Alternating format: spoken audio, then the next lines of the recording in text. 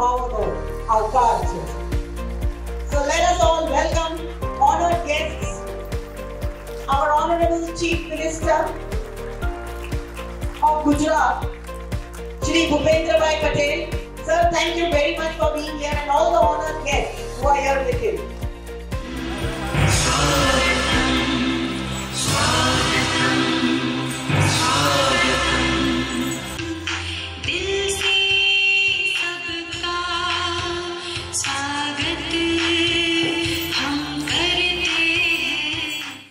આખી દુનિયાનું પહેલીવાર આ દિવ્યાંગોનું ઘડાઘરનું શિલાન્યાસ વિધિ માન્ય મુખ્યમંત્રીએ આ કર્યું છે. એ હું ભાષણ નથી આપતો, પણ એમના પૂર્વજો પણ ભૂપેન્દ્રભાઈ ઉપર આશીર્વાદ આપશે.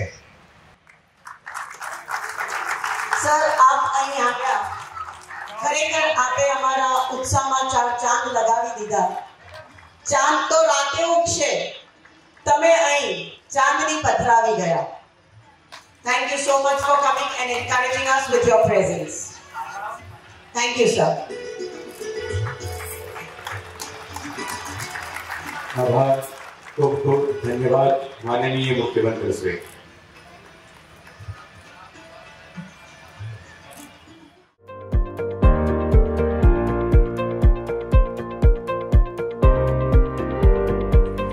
Good afternoon to all of you. નમસ્તે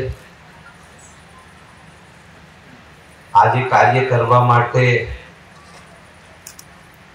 જે અહીંયા ઉપસ્થિતિ થઈ આનંદ અને એ ઉપસ્થિતિ ઇતિહાસમાં લખાઈ જશે એવું મારું માનવું છે.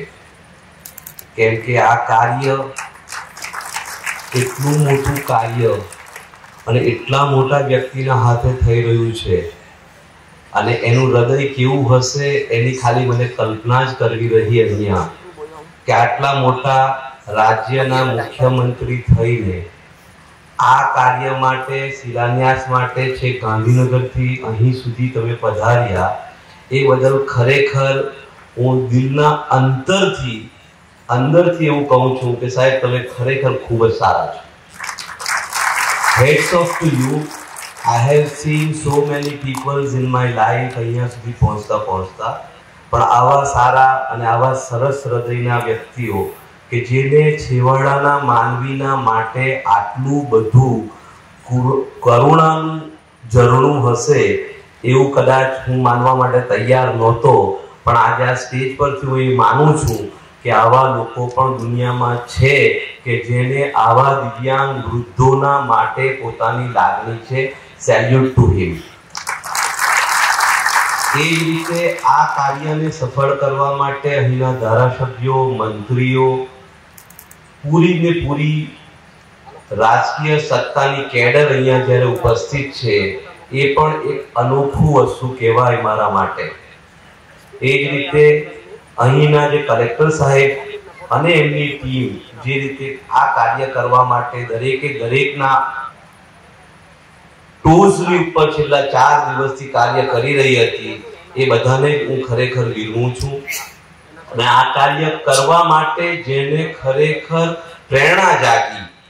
અને એ મને કે તમને કદાચ સારા માણસોને જાગે જ ના, એ હું સત્ય કહું છું. કેમ કે ડૉક્ટર કનુભાઈ એ પોતે નેવું ટકા દિવ્યાંગ હોવા છતાં એમણે આટલું મોટું બીડું ઝડપ્યું. અને ત્યાર પછી મારા જેવા માણસોને શોધીને એનું કેવી રીતે ફાઇનાન્સ ઊભું કરવું પછી કલેક્ટર અને મુખ્યમંત્રી સાહેબ પાસે જઈને દિવ્યાંગોના માટે પોતાની ઝોલી જે ફેલાવવી એ કે નાની સુની વાત નેવું ટકા ડિસેબલ વ્યક્તિ માટે નથી. હું એમના આ કાર્યથી એટલો બધો મોટિવેટ થયો છું કે મને એવું લાગે છે કે મારું તો બધું જ છે. બે હાથ બે પગ બધું સહી સલામત છે. તે છતાં પણ આ કાર્ય ન કરી શક્યો કે અત્યાર સુધી દુનિયામાં મારી જાણ પ્રમાણે કોઈ પણ વૃદ્ધાશ્રમ એવું નથી કે જે વૃદ્ધાશ્રમની અંદર દિવ્યાંગ વૃદ્ધોને, ફક્ત દિવ્યાંગ વૃદ્ધોને કોઈ સહારો આપે.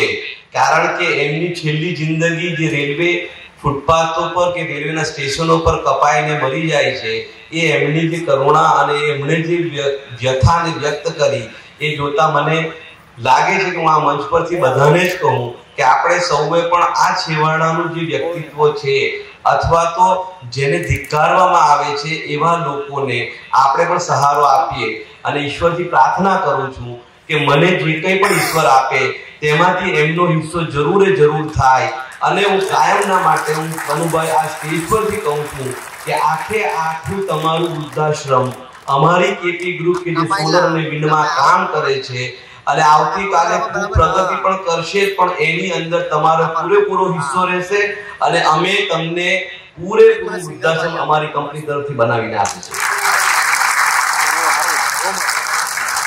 અને એના ટોકન પ્રત્યે આજે અમે અહીંથી તમને નાની અમસ્તી સાહેબ રકમ છે એ એકવીસ લાખની રકમ ડીકે સ્વામી સાહેબ અને એમના વરદ હસ્તે અમે કનુભાઈ તમને આપવા ઈચ્છીએ છીએ. તો એ તમે સ્વીકાર કરશો અને આજ પછી કોઈ પણ જગ્યાએ તમારે કોઈ પણ જાતની વૃદ્ધાશ્રમ માટેની, પૈસા માટેની ઉઘરાણી કરવા જવાની રહેતી નથી એ અમે લોકો તમારી સાથે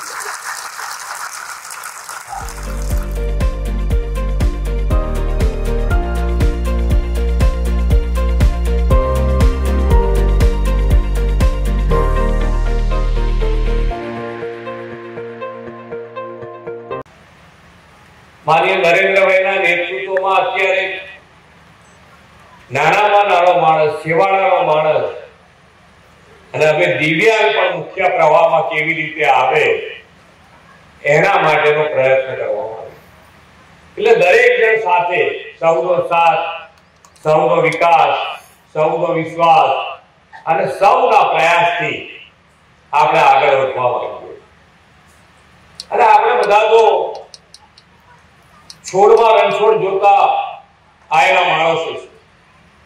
આપણને જો છોડમાં રણછોડ દેખાતા હોય, તો આપણના દિવ્યાંગોમાં તો રણછોડ દેખાવા જોઈએ. અને એ દેખાશે તો આપણે ખૂબ સારી રીતે એમની સેવા કરી શકીએ.